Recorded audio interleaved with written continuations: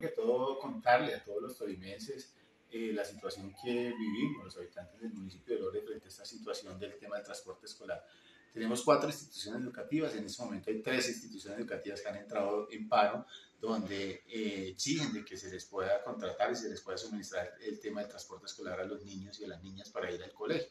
Eso es un tema, una problemática bastante difícil porque realmente es bueno darle a conocer a la comunidad del municipio de Dolores los recursos que llegaron para educación, que fueron 108 millones de este año y teníamos un saldo del año anterior, lo sumamos y aportamos unos recursos propios del municipio y hicimos un contrato por cerca de 257 millones de pesos. Nosotros pudimos garantizar desde el día 28 de febrero hasta el día 26 de agosto. Realmente hoy no el municipio de Dolores no tiene ni un peso, pero venimos haciendo la gestión con el señor gobernador del departamento de Tolima para que le garantice el servicio y estamos en el trámite administrativo de poder firmar un convenio por 100 millones de pesos para poder garantizar el servicio de transporte escolar a los niños y a las niñas de las cuatro instituciones educativas del municipio de Lores Tolima. ¿Cuándo estaría superada esta problemática? Pues nosotros aspiramos de que esa problemática se supere lo antes posible. Todo dependemos del de, momento en que se pueda firmar el convenio con la gobernación del Tolima y así nosotros proceder a realizar la contratación y poder escoger la empresa que va a prestar el servicio a los niños y niñas